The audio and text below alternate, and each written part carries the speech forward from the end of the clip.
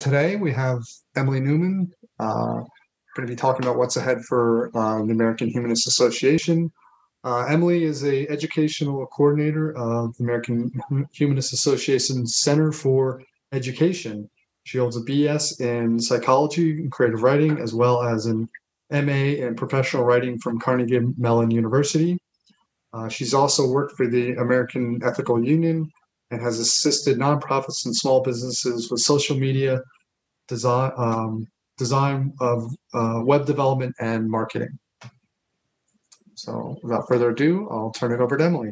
Thank you for coming.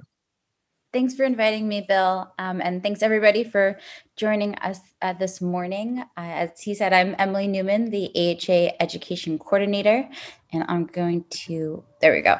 Um, so the um, the American Humanist Association, as you know, is the national uh, organization um, that you are a chapter of, and we have various local chapters and affiliates across the country. We're actually in about 46 states right now, and then also the District of Columbia, which is where I'm currently located. Um, we proudly serve as the leading progressive voice in America on behalf of humanists, atheists, agnostics, and free thinkers.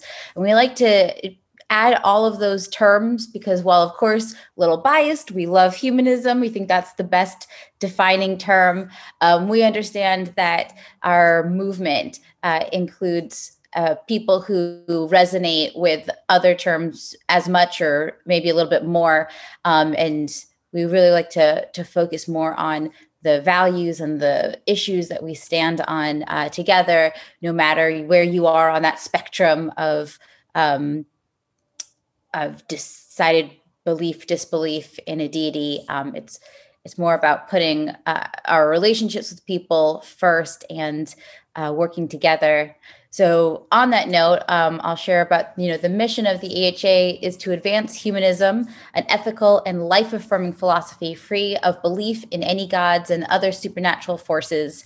We advocate for equality for non-theistic um, people and a society guided by reason, empathy, and our growing knowledge of the world. To uh, promote a worldview that encourages individuals to live informed and meaningful lives that aspire to the greater good. If you um, haven't seen it yet, or maybe haven't seen it for a while, there's a, a page on our website, AmericanHumanist.org, that has some definitions of humanism. Um, they're not expected to be like the definitive one thing you can say. We encourage people to kind of form their own elevator pitch, um, especially since it's only through um, people talking about humanism more and more that we can uh, inform folks, help people understand the term connected to what they probably already have been thinking about. I hear that a lot in uh, connections with people of like, oh, I guess I'm a humanist. That's pretty cool that, you know, now I know that there are groups and organizations um, that uh, I can connect with. Um, there's also on the AHA Center for Education website um, some courses that explore the history and um, foundation of humanism um, and how it has been a part of several um, continents um, uh, around the world, not just known for you know its background in the uh, European Enlightenment. Um, so I'll get a little bit more into the education stuff later because that's definitely you know my home base, uh, my department. Uh, so here's a pretty detailed graphic. Um, and I apologize if the type's kind of small. You definitely don't need to be reading all of it, but to show you kind of like all of the many pieces that make up the AHA's work. So, you know, we have built and joined um, several coalitions connected to our secular work. You may be familiar with the Secular Coalition for America uh, and Humanist International. Um, we often are connected with interfaith groups in order to make sure that humanists and non theists have a seat at the table. Um, and various social justice or uh, legislative um, groups so that we can kind of continue our influence on uh, some of the important issues. Uh, we have several adjunct organizations. I'll talk a, uh, um, a little bit more about the Humanist Society later because um, it's connected to education. Um, but uh, I'll, I'll, just highlight there the Center for Freethought Equality that includes the uh, Freethought Equality Fund, which is um, a PAC and connects to our lobbying work. Hopefully, you've heard about the Congressional Freethought Caucus, which we helped develop um, with co founders Jamie Raskin and Jared Huffman, uh, that has grown immensely uh, and been able to provide more reason evidence based policy um, in our administration um, and they're um, always reaching out. So if you, so we also encourage our members to help us reach out to uh, your officials your legislators because uh, the more people know that their constituents are uh, humanist and care about these issues the more seriously they'll take them. Um, and then, if you are interested in running for office on any level, uh, we'd love to uh, connect you to the folks um, at Center for Freethought Equality and see how we can um, support you. And then I will uh, jump into the publications and the programs because that's really kind of like the meat of uh, what we do. Uh, so, anyone here who is a member um, or signed up for our um, messages, hopefully has seen the Humanist magazine.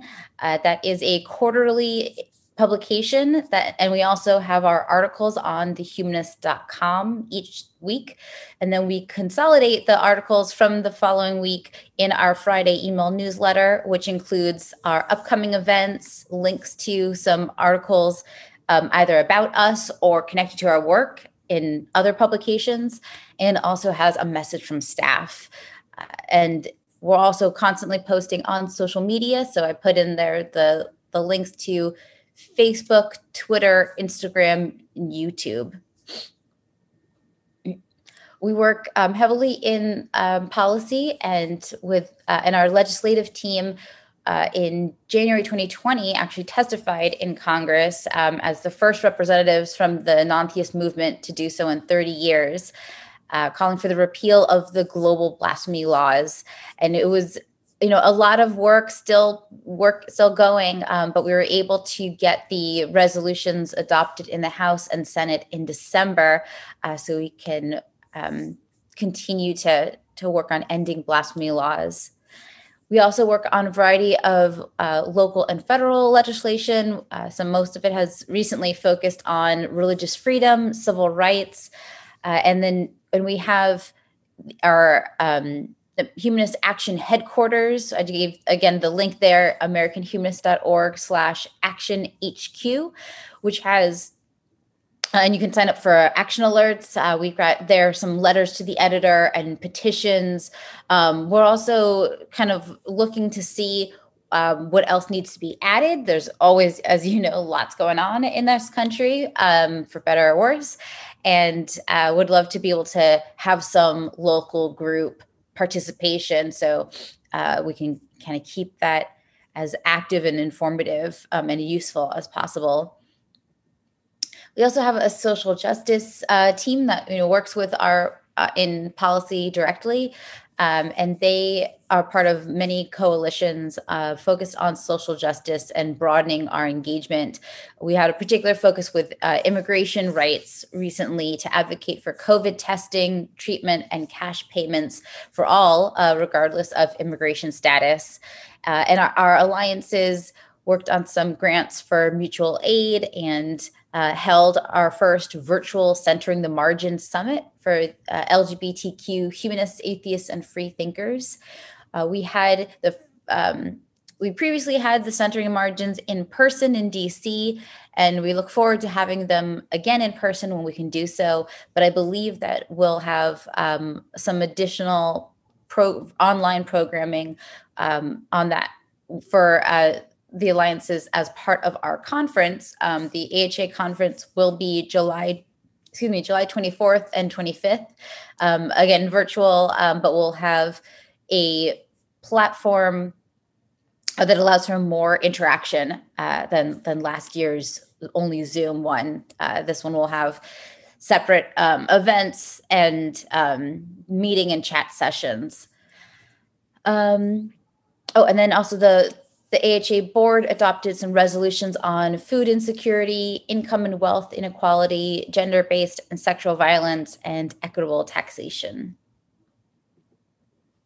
Uh, you may be familiar with our legal center. They certainly have gotten a lot of attention for some of our cases, including when we went to the Supreme Court in February 2019. And our legal director and senior counsel, Monica Miller, has been putting together these Legal Tuesday videos that go on YouTube and Facebook. Uh, it's a time when she can answer uh, your questions uh, of either uh, separation of church and state in general, or some or specific to our cases and other um, like establishment clause, uh, freedom um, of religion and speech um, inquiries. And if you have any church state separation violations, we invite you to report them to us at humanistlegalcenter.org.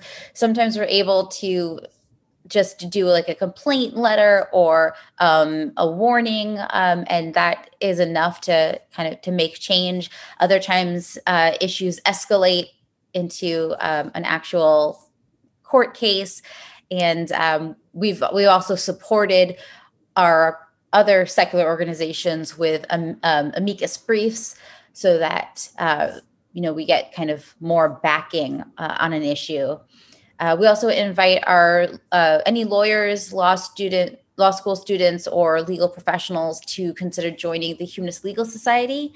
Uh, and that's a network of humanist um, legal folks. Uh, when we provide some some training and talks for them, and also look at it as a way to to help us um, handle more situations across the country. Uh, and as I mentioned, so I'm part of the Center for Education. We actually used to be a separate organization, the Humanist Institute, and then we merged with the AHA in 2018 and have just continued to expand all uh, our programs and our outreach to let more people know about the opportunities to learn about humanism. So we've got some online studies courses on our website, and there's um, about I think a dozen or so free ones that range from intro science, psychology, law, um, spirituality, and then there are um, I think about six now um, paid courses that dive a little bit deeper into a, a social issue like uh, humanism and in hip hop, um, humanism and race, feminism, humanist parenting. Uh, there's several ceremony ones like marriage, end of life, memorial. Um, and we're currently working, I, I think we should be able to share it in um, the next few months. Uh, we're currently working on adding humanism and, and um, pop culture, which was written by James Croft um, at the Ethical Society of St. Louis. Uh, we also have on our website recordings from our programs. If you see on the, the right of this slide, we have Speaking of Humanism, which uh, is what used to be the monthly speaker program in our office. Excuse me. Um, we moved that that in-person series on Zoom, similar to what you folks are doing here. Uh, and then we also, during COVID, have created the Critical Minds series, um, which allows us to hear from academics and um, artists. Um, and those have a usually, well, we've been doing them maybe about every other month or so. Um, and then further reflection is an online uh, instructor led course. Sometimes we've had a critical mind um, presentation that then led into a further reflection course to give like a deeper dive with the the presenter. Um, some of the topics coming up that we've got programs on would are uh, reproductive justice. Uh, Fred Edwards is doing a course on humanism in June. Um, and then we'll have, uh, we also have a program on addressing uh, the uh, indigenous health disparities. So all of these uh, programs are live on Zoom, sometimes also on Facebook Live, and then we have the recording stored on the Center for Education website. Um, we also have the Humanist Studies program, which is our graduate level uh, certificate program that is often partnered with a university um, in order to allow for our course credits to help build towards a master's degree. This is uh, great for people interested in like leading a uh, nonprofit, uh, being a chaplain, um, taking on more of a strong advocate ambassador role for humanism. Um, we have uh, so with the humanist society that is an adjunct uh, organization uh, very much supported by the center for education the humanist society endorses our celebrants chaplains lay leaders and invocators uh, in the uh, the chat before we uh, we officially started we heard about a memorial that you know doing memorials and providing the family with support during a difficult time has become um, a you know, much bigger deal lately. We've also noticed a lot of folks choosing to do Zoom memorials uh, so that not only are they able to stay safe uh, during these times, but they're able to invite folks who wouldn't normally be able to attend. Like I was supporting a memorial that included folks um, from Australia and England, and um, it was uh, very uh, emotional for the family to be able to see them be- again, uh, not knowing you know when they would be able to, how late they would have to schedule it uh, in person to accommodate. Um, and then the the Here for Climate initiative is our um, answer to climate change. We actually have a social media campaign now uh, called hashtag here for climate, where we are challenging people to show up uh, with their action, uh, work on having healthier life choices, both, you know, personal dietary, also our waste management um, and energy use, um, help, and then also uh, advocating for more ecological uh, choices. We're kind of excited to have a new administration that takes science and climate change seriously and has already been working on uh, some much needed solutions. Uh, we did a webinar series for Here for Climate uh, that was featured in the spring 2021 magazine and also recorded uh, with videos on our website and YouTube uh, to kind of see some of the different angles of how climate change uh, impacts marginalized populations. We're working on another webinar series that would focus on the policy side. It has been a little challenging getting the scheduling, so that's you know kind of uh, pushed to later in the year. But we're excited um, to be working with the Center for Freethought Equality to connect with some of their legislators, and then also hear from some climate activists especially some of the younger folks who have been really leading the movement. Um, a special thing that has come out of the Center for Education is our uh, 10 commitments of humanist living. Uh, you may have seen this wheel. It's been on our social media a lot because we've been promoting that we sell these posters, and uh, we've created a workbook for children, kind of similar to the way that the scouting program would have them um, use to earn a badge. And we also sell some iron on, sorry, some iron on badges um, that children can earn as they kind of show that they are able to to take on these commitments uh, here is a block version of the commitment. So we've got on our website uh, longer descriptions for each one so that you know uh, you can kind of really get into what does it mean to take this action. Uh, but we also have these short um, strong active i will statements. So uh, i'll just i'll just read off of the the top level what the 10 commitments are um, if you can't read the I will statements here, again, you can go to uh, humanistcommitments.org and read short and long um, and, and see the all the graphics we have.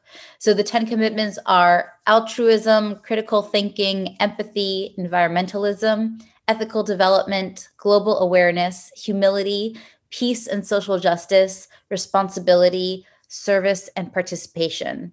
Um, and we've worked on getting uh, these uh, commitments and the I will statements translated into several other languages so we can make them accessible uh, to more folks. So here's a detailed graphic about where the AHA is headed. Uh, this is uh, kind of a visual of our strategic plan for the next three years. It is very uh, detailed uh, and it gets broken down even to even more steps um, internally.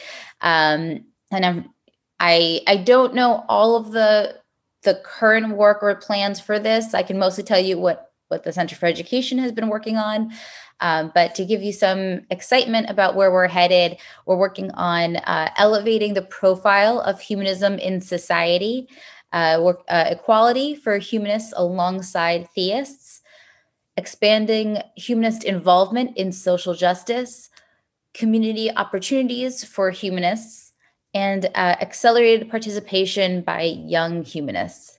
So, this is all um, as part of the organization's goals to make sure that humanism is uh, seen as a, a strong um, life stance, you know, equal to to any traditional religion, um, and uh, kind of still working on getting rid of the stigma that some folks have about the idea of being good without a god, uh, and also just reaching out to populations who probably will identify um, similarly and be interested in what we have to offer, but maybe just don't know us yet because you know we haven't kind of reached their their area either geographically or um, their interests, um, their age bracket. Um, and uh, I'm kind of excited with the with the community opportunities.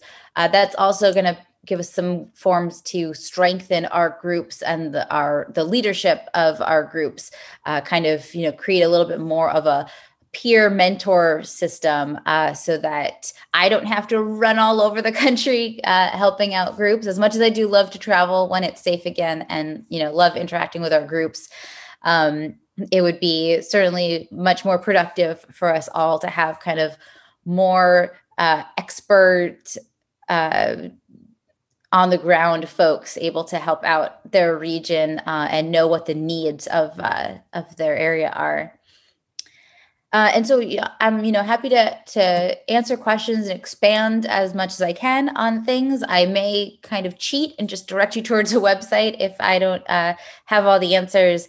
Um, but I'll leave you with this slide. Um, hopefully, you have or will explore the American Humanist Association website at americanhumanist.org and uh, become a member or uh, or still or find a way to support and um, we look forward to being able to connect with you so that's my my bit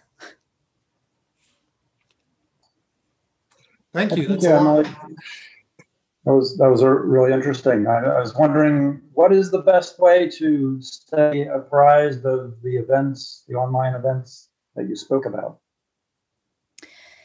Yeah, if you're um, if you're not already a member, um, I would recommend of the AHA. I would recommend doing that. Um, you can also, you know, I think you uh, you can sign up for our uh, Friday newsletter. I think without becoming a member, uh, but there is also a one dollar only membership, uh, online only membership um, option. Uh, I just um, so that you can get like notifications. Um, you can also, if you're comfortable with social media, you know, we'll we put a Facebook event for each of our events. Um, and you can you know use that as a, a, way to remind yourself i'm working on developing a calendar um, also so that you know it's a little bit easier to save an event to your calendar. Um, I know for sure I can get that with Google. Uh, I'm not positive yet uh, about all of the other calendar options. Okay, thanks.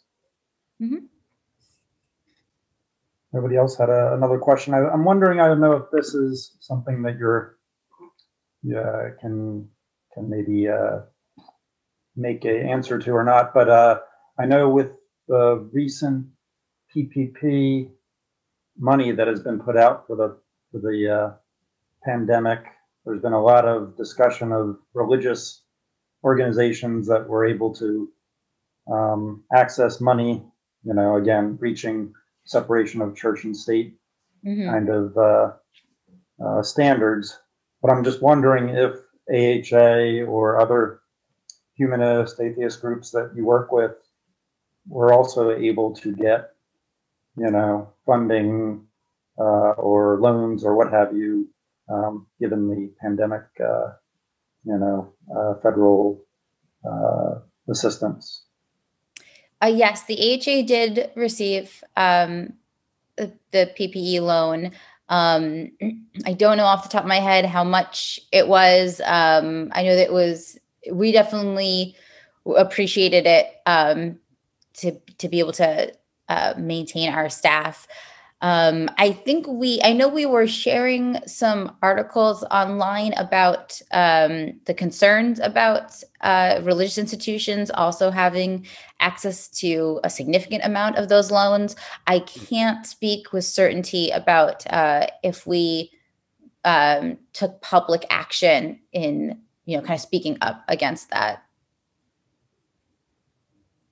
I know we've well, we certainly have spoken up against um, the uh, the um, you know the issue of have of religious institutions um, not following the COVID guidelines and uh, allowing for some pretty dangerous in-person events, um, both in terms dangerous in terms of both not social distancing and capacity, and um, you know still uh, and not covering up faces.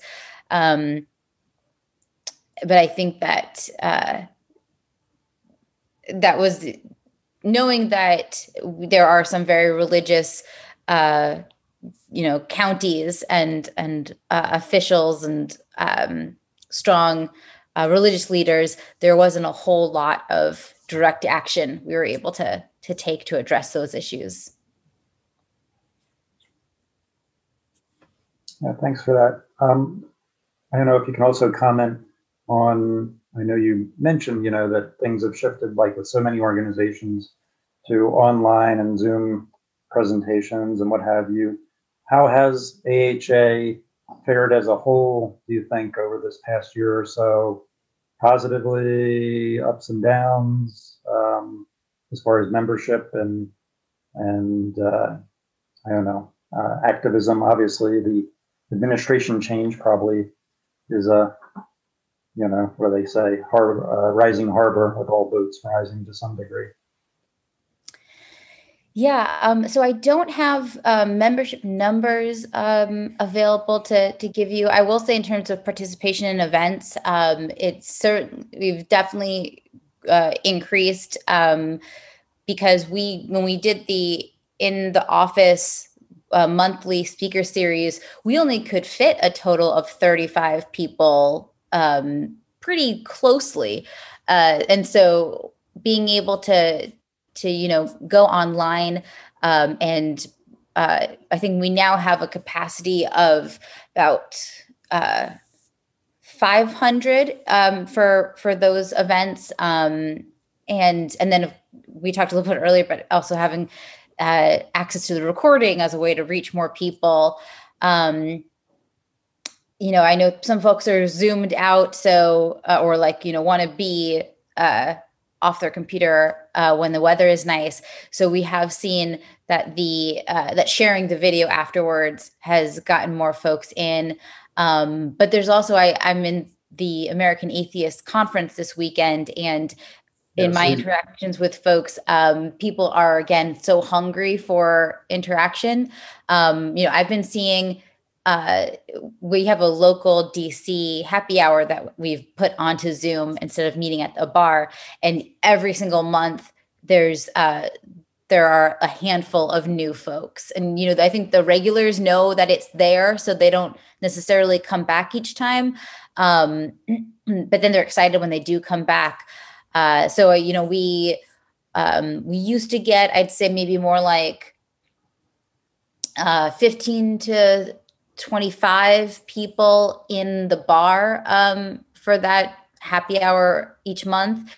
On Zoom, we haven't really hit more than 15, um, but there, um, but I think we've reached more people who uh, who may not be able to easily come to the bar. Um, the other, sorry, the other thing you mentioned in terms of yeah activism you know certainly not being able to do the rallies and um, marches makes it a little difficult to uh, to you know measure our our um, events. But again you know we've had a lot of activity with the uh, the online action headquarters. We did uh, just this past week we put out me- sorry we put out a message about the um, equality act.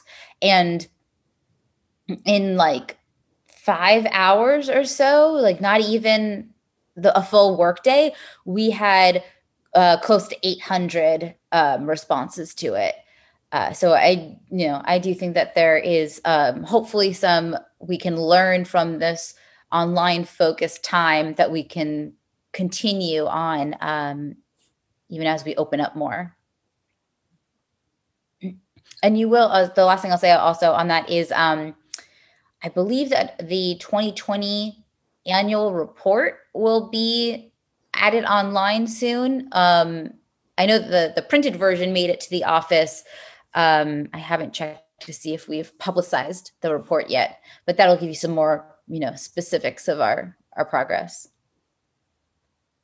Yeah, I know a lot of the challenges are going to be like, even though we're post Trump era to some degree now, um, you know, the judicial um, challenges seem very high.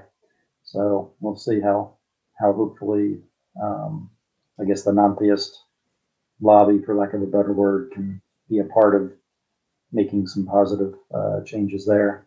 Does AHA have plans to hold their own uh, either online or in-person conference in 2021? Yes, we will. Our uh, virtual conference is July 24th and 25th. Um, we just closed the call for program proposals. So this week we'll be f- kind of filtering through and forming our schedule. Um, and I think that once the schedule is a bit more sure, we will um, be able to confirm the registration. Um, and as you mentioned with the changing administration, yeah, I think one of the things we just have to keep in mind now is to not get too comfortable or hopeful. You know, we still have um, a lot of work not only to on undo but to progress further. And uh, you know one of the silver linings around the trump administration was that it really did uh, force a lot more people to get active. You know we saw a big increase in who was running for positions and uh, you know and what uh, advocacy um, popped up. And so we are kind of hoping to be able to keep that momentum uh, in order to especially um, we've gotten already some big steps in getting the new administration to directly see mm-hmm. and talk with uh, non-theists, and um, and part of that is, is also due to um, the uh, some more um, consultants being available for the humanist movement. Okay, thank you for that. Mm-hmm. Um, CBS Sunday um, CBS News Sunday Morning mm-hmm. had um, information graphic that for the first time since 1937, fewer than 50% of the American population identifies with any religious organization. I know you don't have specific membership numbers, but do you get a sense that um, among the different humanist, atheist, free thought societies, there has been any kind of a significant increase? Yeah, there definitely has been um, increase. Um, we've noticed it um, on not only with membership but also with um, you know how it's kind of talked about in the media. Um, we've noticed it as uh, you probably you may have seen the that there was also a a survey from the Center for Freethought Equality on um, the views of uh, voters about voting for uh, non-theists, and we used that to you know kind of present to our uh, legislators that like being an atheist uh, is no longer taboo. I mean, it's certainly not loved by everybody, um, but it's really the values and where and the positions on issues that are uh, most important to the constituents. And so that um, we're kind of hoping that we can, you know, uh, show up more on issues and uh, and put out our our statements and resolutions so people really get to know like who we are and that will make them feel more comfortable identifying with us um, and and also there's i think there's still work to be done to help that um, you know some call it coming out you know or uh, identifying um, make that more comfortable because we still have to kind of counter uh, some of the negativity that is still being fed um, and um, and you know kind of uh, show up with with more um, positive action. And so that's kind of actually a reminder to me i should probably mention that uh, for April 30th to May 9th, we've got our the secular week of action where all of the organizations in the movement work together um, on uh, kind of trying to meant trying to push that action speak louder than prayer. And so um, you know we we've pushed for the national day of reason which is may 6th and then expanding on that with uh, service and advocacy and educational opportunities. Uh, so we're hoping that that's going to be kind of like the next big boom of uh, getting our communities out there and getting attention um, so uh, there's a I guess a few different types of uh, events that they're running, like Critical Minds and speaking of humanism, humanism and further reflection. I think. Mm-hmm. What are the kind of differences between those? Are they all the same or? Sure. Um, so, so speaking of humanism, um, was uh, the one that was originally in the office, so probably will be the one that we most easily can turn into a hybrid um, system uh, next year. Um, and that it tends to be um, more focused on authors and activists um, that kind of uh, highlight particular humanistic issues um, and uh, you know, kind of uh, introduce the audience to the to uh, individual's work. Um, the and those are uh, we use Zoom webinar for those um, just to be able to manage um, lots of people. Uh, and if and um, if the speaker feels comfortable, also broadcasting on Facebook Live, we'll do that. Um, Critical Minds tends to be more um, academics and artists. Um, it's um, we don't have a set schedule. That very much kind of you know we don't like need to do one monthly like the the speaking of humanism, um, but we want to kind of use that as an opportunity to uh, to expand on topics that you know we used to be able to put them into a full day seminar and now we're kind of breaking them down into uh, into uh, single um, programs. And then the further reflection uh, those are do, used with zoom meeting so that the students and the instructor can all see each other. Often there is um, a reading or a video shared before so that they can kind of come to the session with a little bit of instruction and then focus um, a lot on discussion. Um, I think we've, it's kind of like a mini version um, or part of what we've done for the the graduate level certificate humanist studies program where there is um, inst- a mix of instruction discussion um, assignments projects um, and we're just starting to to kind of see what uh, trainings, you know, in-person trainings that we've had kind of, you know, put on Zoom is uh, is another thing we're exploring. So we used to have celebrant trainings um, across the country, um, both for currently endorsed or for kind of interested budding celebrants. We'll have our next one um, in July, kind of like leading up to the conference, and that'll be um, a chance to also just you know learn more about the role of a humanist celebrant. Thank you. And we've got the so I mentioned that we used to do one day, a full day seminars. We have like multiple panels and speakers.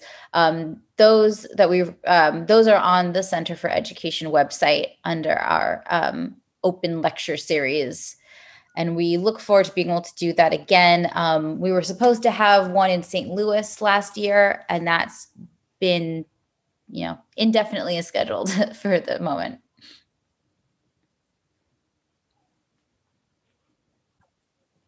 Anyone else have any questions? Presentation was very well done, very thorough. Thank you. Thank you. Yeah, thank you very much. Um, I'll also give a shout out. Um, you know, not only do we love for you to read um, our articles, but if uh, you're so inclined to write one, uh, that would be welcome. Um, you know, we have um, several articles published each week on thehumanist.com, and I particularly love to be able to highlight the work of our groups and um, you know be able to uh, to learn more about some of the issues impacting our uh, our different regions where humanists are kind of standing up. So um, yeah, you can always submit an article. And sorry, I think I I think I overlapped with somebody a moment ago. Not at all, but where would you submit uh, an article to, uh, Emily? Uh, you can email it to editor at thehumanist.org. Oh, sorry, I should check that. Um, I always forget whether it's .org or dot .com. Um,